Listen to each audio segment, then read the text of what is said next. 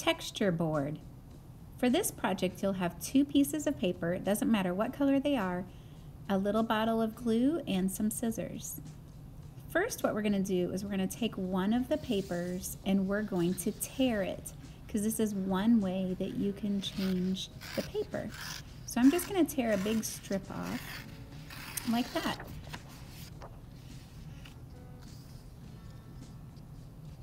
Now we're gonna cut paper. I decided to cut mine in like a zigzag line. So you can see I'm going to the left, to the right, to the left, to the right. So I'm gonna do that all the way until the end. And then I'm gonna do it one more time so that I have a cut edge on both sides of the paper that I'm going to make.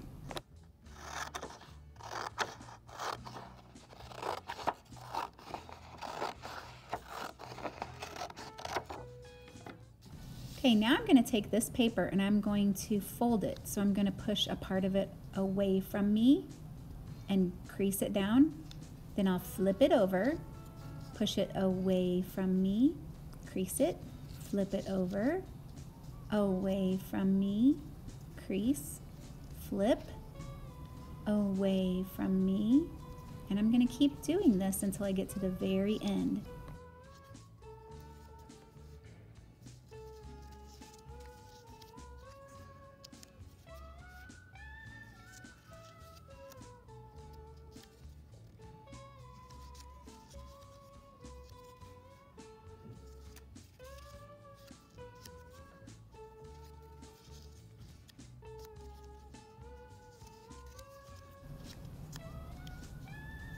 Now look when I open it up, it looks like an accordion, which is a kind of musical instrument.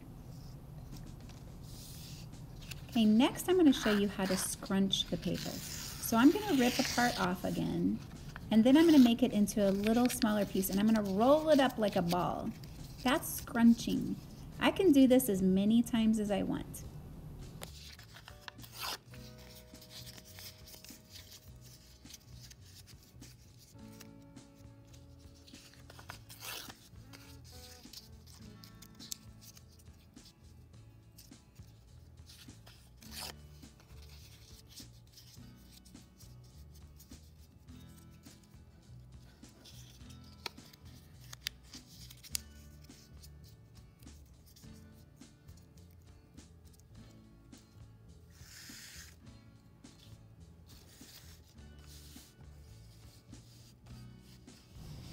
Next, I'm going to tear another strip off, and this time I'm going to show you how to curl the paper. So I'm going to take a pencil, and I'm going to put it on the very edge of the paper, and I'm going to hold it down very tightly, and I'm going to keep rolling it. It reminds me of when I have to roll a sleeping bag up. So I'm holding on tightly, and I'm rolling rolling till I get to the very end. And I'm trying to keep it tight. Then when you're done, you're gonna kind of squish it down with your fingers, kind of rub it, and then pull the pencil out.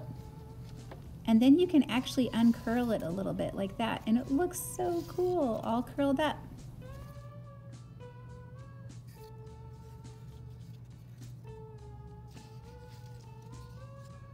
Okay, so I've shown you tearing, cutting, scrunching, curling. Now I'm going to show you twisting. So I have one more strip. I'm going to open up my glue bottle. I'm going to put a couple drops of glue at the end of the paper. And I'm going to glue this part down to my other paper. And this is where I'm going to put all the other papers that I just made in just a little bit. So I've got to hold this for a little bit because it I'm, what I'm going to do is I'm going to take this and I'm going to twist it. Do you see how I twisted the paper? Kind of looks like a roller coaster. And once that one side is staying down, then I can pick up the other side and I can glue that one down. Sometimes you have to hold these for quite a while before they want to stay.